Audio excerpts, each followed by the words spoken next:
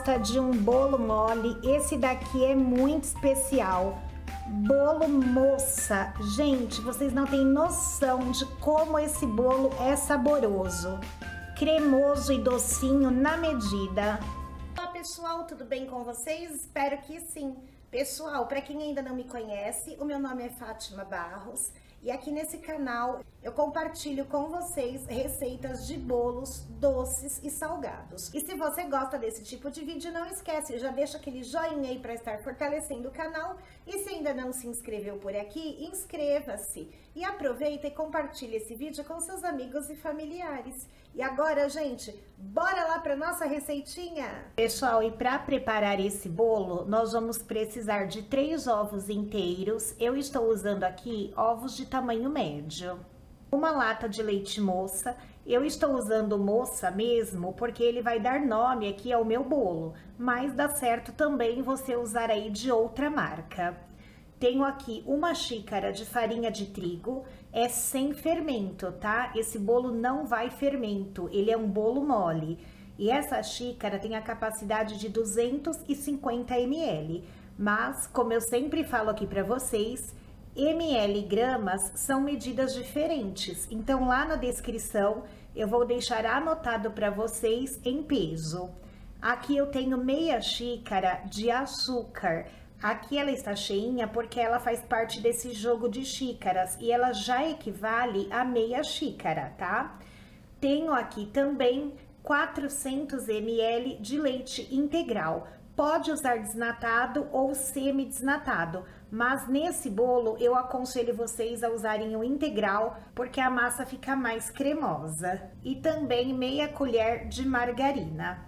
Pessoal, eu sei que muita gente vai falar assim: ah, esse bolo fica muito doce porque já vai leite condensado e vai açúcar também. Mas não fica. Ele é um bolo docinho porque o sabor dele remete a um pudim de leite condensado. Inclusive a textura dele super cremosa. Então pode colocar o açúcar que vai ficar muito saboroso, ok? E esse bolo, ele é zero dificuldades, totalmente feito no liquidificador. Então, eu vou acrescentar aqui os ovos, o leite, a margarina, o leite condensado, a farinha de trigo e o açúcar. Todos os ingredientes, então, de uma só vez. E agora nós vamos bater por dois minutinhos. Terminei de bater então e ela fica assim, uma massa bem líquida. Eu vou assar esse bolo em forno pré-aquecido, meu forno está em 180 graus e ele demora um pouquinho para assar, tá? Geralmente aí é uns 50 minutinhos.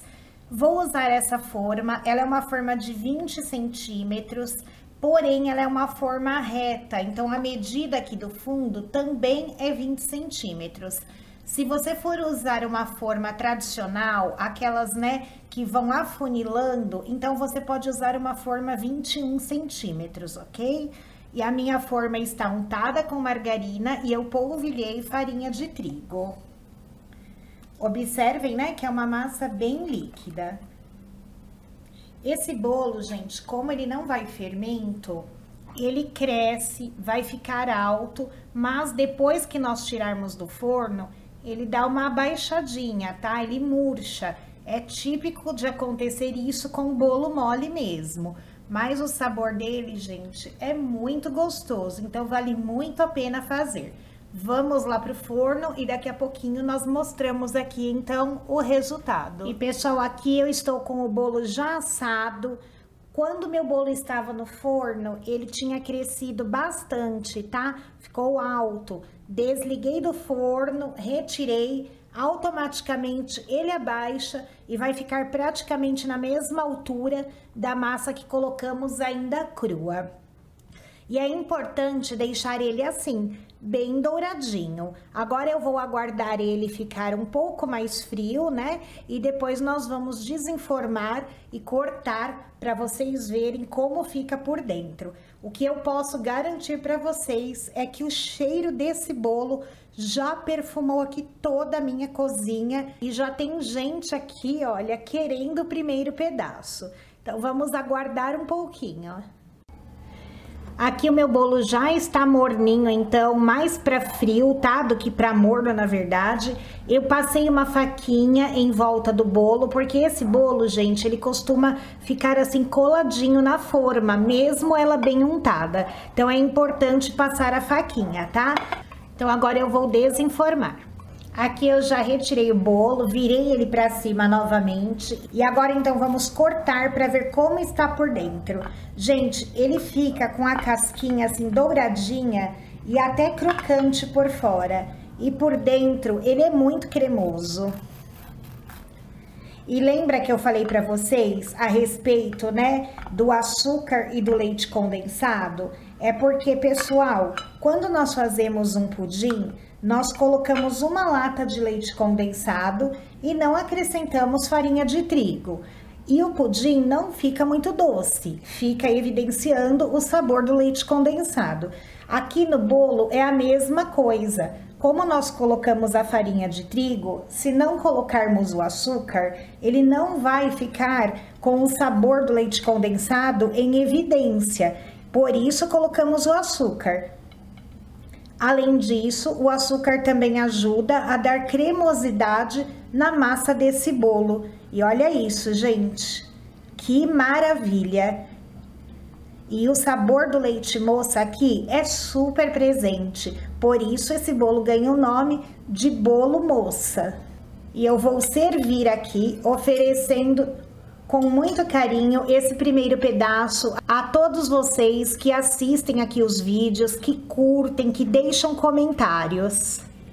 Tem pessoas que preferem esse bolo morninho, né? Outras preferem ele frio.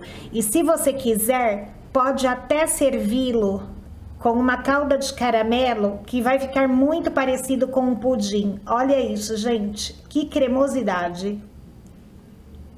Hum, Show de bolo.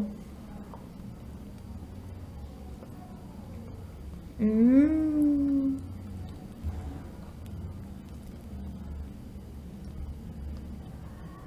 Termino esse vídeo por aqui, então, agradecendo muito a companhia de todos vocês. Fiquem com Deus e até o nosso próximo encontro. Tchau!